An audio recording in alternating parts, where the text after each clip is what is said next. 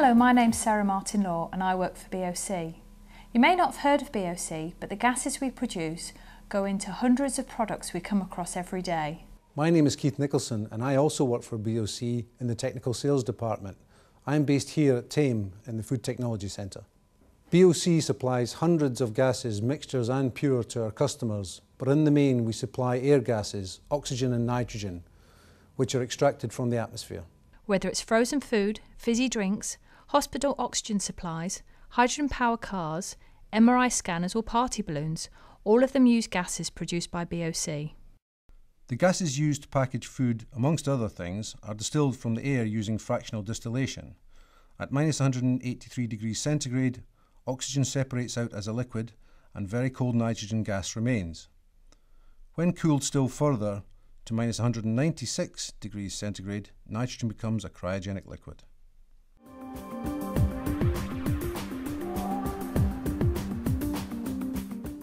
Traditional freezing of food occurs in a three-step process.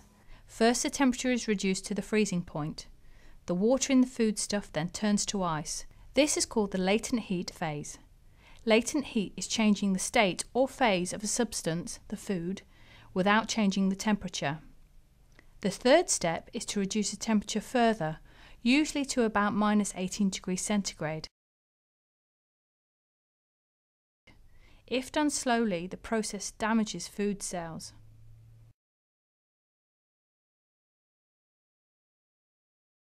In order to ensure high product quality, the freezing process must be carried out quickly. Using fast cryogenic freezing, the water inside and outside of the cells freezes at the same rate. This ensures that the cells remain intact and the food keeps its freshness, flavour and texture as close to the fresh condition as possible. Our cryogenic gases can be used to fast freeze foods. We can use liquid nitrogen at minus 196 degrees centigrade on direct contact with the surface of the product to remove the heat.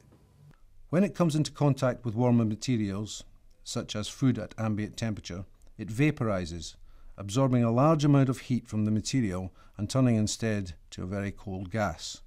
This process, known as cryogenic freezing and cooling, has been in industrial use for over 40 years and is well known for producing high quality frozen and chilled goods.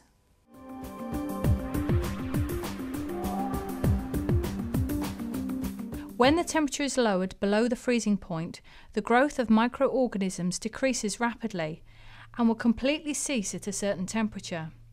This is due not only to the lowering of the product's temperature, but also to the formation of ice. Microbes need free liquid water in order to flourish. They're, most active between the temperatures of plus 60 and plus 5 degrees centigrade. So heating above plus 60 and cooling below plus 5 minimises their impact and reduces the risk of food poisoning.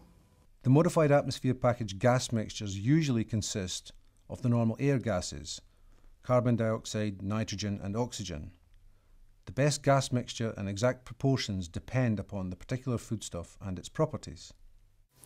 After completing my chemistry degree, I joined BOC on their graduate scheme and completed a number of roles within sales and marketing across the wide variety of businesses.